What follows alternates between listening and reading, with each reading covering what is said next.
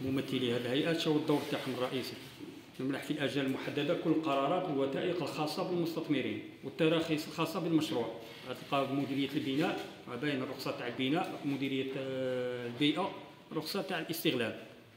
على خلاف آه، صندوق الضمان الاجتماعي للأجراء ولا الغير أجراء كناز ولا كازنوس.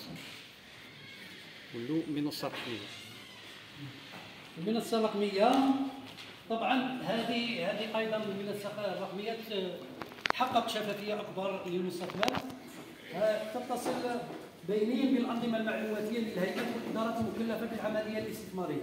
يعني عندها كاع اللي تقدر توفرهم للمستثمر توفير كل المعلومات اللازمة لا سيما فرص الاستثمار في الجزائر والعرض العقاري والتحفيزات والمزايا المرتبطة بالاستثمار والإجراءات ذات الصله إزالة الطابع المادي عن جميع الإجراءات والقيام بوسط بوسط الانترنت بجميع الإجراءات المتصلة بالاستثمار. يعني ما تبقاش هذاك الوساطة قال هذا ال investisseur نعاونوا هذا ما نعاونوش إلى غير ذلك donc عن عن طريق المنصه الرقميه عندها كل الصلاحيات باش يطلع على على على الاستثمار ويقدر يستفاد ويقدم الملف نتاعه. وعندها كما قلنا اللجنة العليا للطعون لتحميه في هذا الشأن.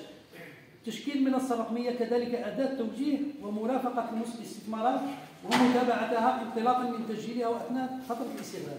معناه كاع لي دوني تاع المستثمر تكون مسجلة على مستوى المنصه الرقميه ويمكن متابعتها سواء في مرحلة الإنشاء أو مرحلة الاستغلال.